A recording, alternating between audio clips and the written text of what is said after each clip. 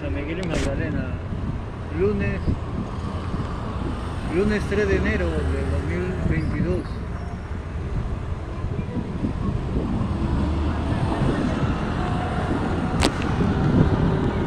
Un cuarto, un cuarto para las 7 de la tarde noche.